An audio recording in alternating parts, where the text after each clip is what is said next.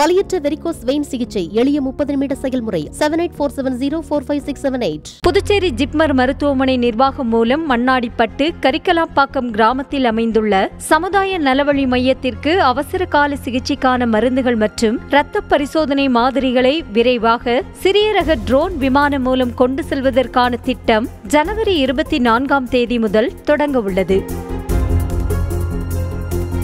இதையொட்டி சிறிய ரக ட்ரோன் விமானம் மூலம் மருந்துகள் கொண்டு செல்லும் சோதனை ஓட்டம் மண்ணாடிப்பட்டு எல்லை காளியம்மன் கோவில் வளாகத்தில் இன்று நடைபெற்றது.